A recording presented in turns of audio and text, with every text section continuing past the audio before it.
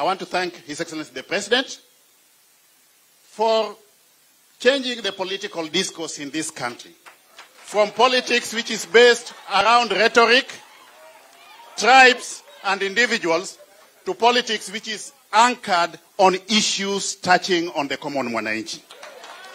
And I verily believe that the election that we have just witnessed within the first two months is going to be the turning call and the rallying call that would make sure that we are united as a country around issues facing the common mwananchi.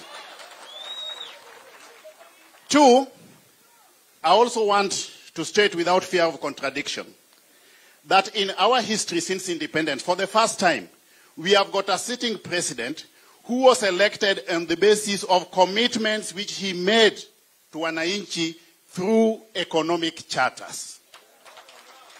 And his government is going to deliver based on commitments which were made before the elections. We thank you very much for committing beforehand that your government honor, will make uh, will deliver promises to all parts of this country, irrespective of the voting patterns that we witnessed during the elections, Homa Bay County inclusive.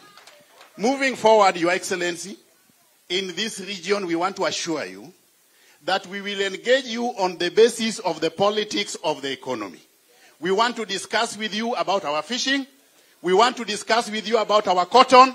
We want to discuss with you about trade for women and opportunities for the youth. Finally, on behalf of the people of Nyanza, may I have the distinguished honor and privilege to thank you most sincerely for granting me the opportunity to serve in your government on behalf of the people of this region. I now have the distinguished honor and privilege, Your Excellency, to welcome you to talk to